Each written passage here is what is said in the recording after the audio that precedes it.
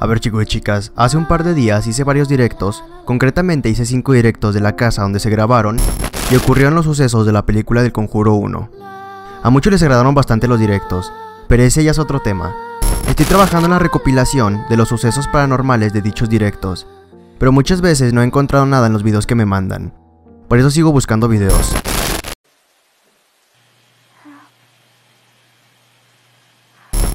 Ya dicho eso, este video tratará de los 5 objetos más peligrosos del Museo de los Warren, que está directamente vinculado con las películas del Conjuro. Este video será un poco corto, ya que no me gusta divagar en los videos. Después de que veas el video, déjame saber en los comentarios para ti cuál es el objeto más aterrador del Museo de los Warren. Ya dicho eso, ponte cómodo, apaga las luces y disfruta del siguiente video. Número 5. El espejo del conjuro. Este artefacto es muy peligroso, usado para realizar rituales de conjuración, en un esfuerzo por convocar a los espíritus, una forma de mirar los cristales. Todos sabemos que los espejos son usados para conectar con otro mundo. Hay varios juegos muy aterradores en los espejos. Por eso se dice que los espejos son algo así como portales a otro mundo. El problema de intentar comunicarse o convocar a espíritus es el peligro muy real de convocar a entidades malignas, inhumanas o demoníacas, y debe evitarse a toda costa. Número 4. El órgano. Este órgano forma parte de la gran colección de objetos embrujados, y su historia cuenta que atormentaba a sus dueños cuando comenzaba a sonar solo, a altas horas de la noche. En varias películas de terror hemos visto pianos que se tocan solos, y es realmente escalofriante el hecho de que un instrumento se toque solo. Cuenta Lorraine Warren que incluso en la actualidad, en ocasiones el órgano aún se puede escuchar tocarse solo.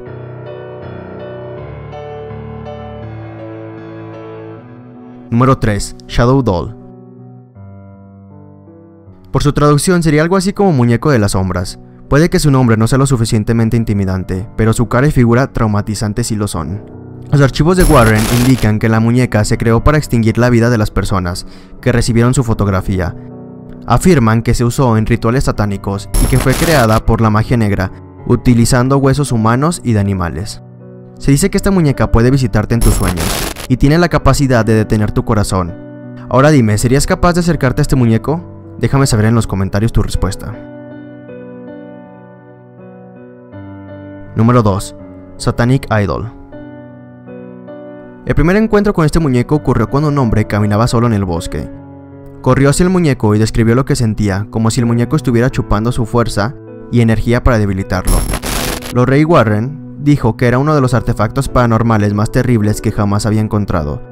Después de que los Warren pusieron el ídolo en su sótano, Lorraine comenzó a experimentar actividades horribles, como la levitación y estar en estado catatónico durante días, debido al ídolo satánico.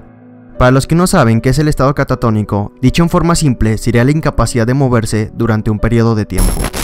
Ed Warren colocó a este idol bajo las pinturas encantadas que había coleccionado, se encuentra libremente con su cuerpo aterrador, cabeza con cuernos y su espíritu maligno, esperando su visita.